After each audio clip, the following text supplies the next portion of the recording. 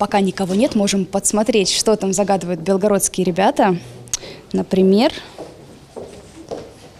Софья заказала коньки 38 размера.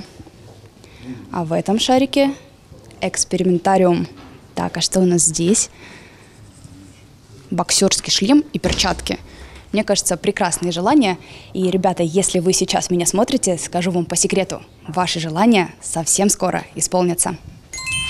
Ведь в мэрии Белгорода открыли елку желаний. На новогоднем дереве 60 писем от детей. Это отличники учебы, победители конкурсов и соревнований, ребята из семей участников СВО, дети из многодетных малообеспеченных семей, сироты и ребята с ограниченными возможностями здоровья. Эта акция у нас уже стала традиционной, ежегодной.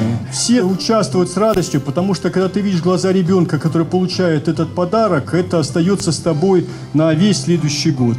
К благотворительной акции уже присоединились депутаты городского совета и сотрудники администрации областной столицы. По какому принципу будете выбирать шарик?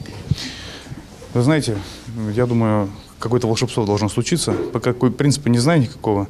Посмотрим, что больше всего понравится. Я буду два.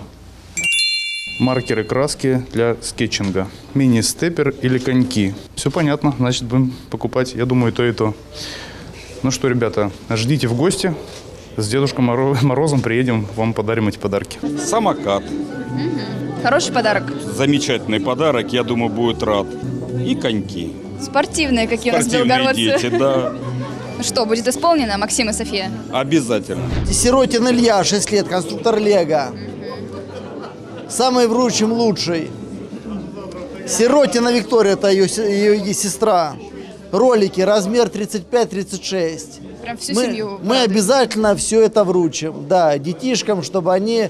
Детство их было самым лучшим. А что вы в детстве загадывали Деду Морозу? Ой, у меня в детстве было желание атлас большой географический э, Советского Союза. И мне его на 10 лет подарили. Исполнилось все-таки. Да, да, это была самая большая мечта моего такого детства, которое запомнил. А теперь вы стали настоящим Дедом Морозом и исполняете желания Да, каждый год стараюсь радовать детей. В этом году в Белгороде есть и жители, которые решили проявить инициативу и тоже поздравить ребят. Среди них предприниматель Андрей Зацепин. Увидел в соцсетях, э, как губернатор снимает э, такие вот э, красивые шарики, там елочки получается.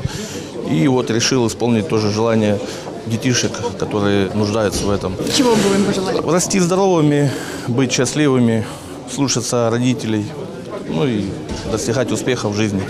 Анастасия Ильина, Антон Гребенников, Белгород Медиа.